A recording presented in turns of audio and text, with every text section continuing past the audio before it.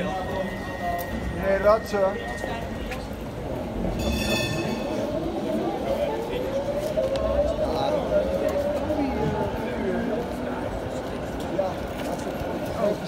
Hallo, welkom. Ik eh, dit het fijn om het af te geven en dan uiteindelijk tas weg mee.